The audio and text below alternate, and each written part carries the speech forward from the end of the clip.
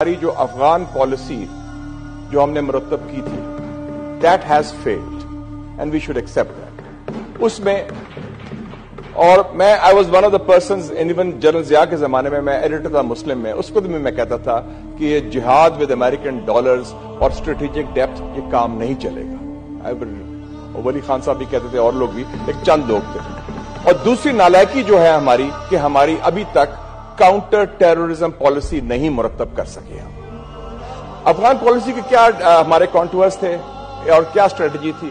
पहले कहा था जी स्ट्रेटेजिक डेप्थ कि हमारा पांचवा सूबा है almost it's an extension of a security फिर हमने कहा कि जी हाँ, अब आया कि कुछ लोग गुड टेररिस्ट हैं, कुछ लोग बैड टेररिस्ट हैं। फिर हमने कहा कि नहीं, कुछ लोगों से हम बात करेंगे, कुछ लोगों से हम मिलिट्री ऑपरेशन करेंगे। सर, कल जो हमने साइट्स देखी हैं टेलीविज़न पर और मैं स्टूडेंट भी हूँ हिस्ट्री का।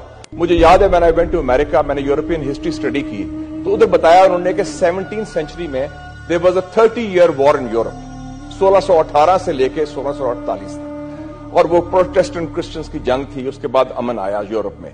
मैंने कहा कि 30 साल तक ये यूरोपियन लड़ते रहे हैं, ये पागल हैं, क्या हुआ है? सर, हमारी ज़िंदगी में 1979 से लेके 2022 तक 43 इयर्स हो गए we are still fighting and we are still involve in that और कल जो सीन्स बताए हैं, संगीता बता रहे थे और दोस्त भी, कि, और खास तौर पे ये जो अफगान जिहाद में और सारे consequence specially the Pakhtun blood was spill they have be the biggest sufferers दो बिलियन डॉलर्स सीआईए ने आईएसआई को दिए कि दो लाख अरब अफगान मुजाहिदीन और बीस हज़ार अरब मुजाहिदीन को ट्रेन करें, जिसमें Osama bin Laden, doctor Ayman al Zawahiri थे।